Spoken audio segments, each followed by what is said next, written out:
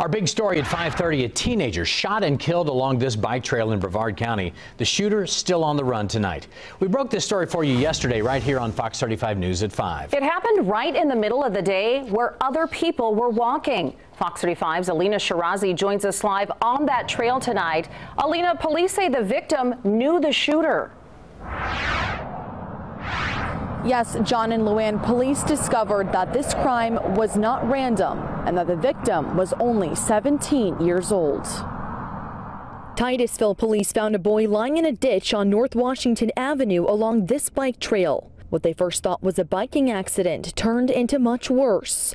They discovered the boy had been shot. He died a few hours later at a hospital. That boy has been identified as 17-year-old Mercutio Burford. He lived with his family a few minutes from the trail. Titusville police say new evidence shows the victim knew the shooter and that this was not a random attack. We have a description of that suspect, a black male about 5'9 with short hair wearing a long sleeve hoodie and dark shorts. Detectives say they're still working all leads in the case and ask anyone with any information to call police.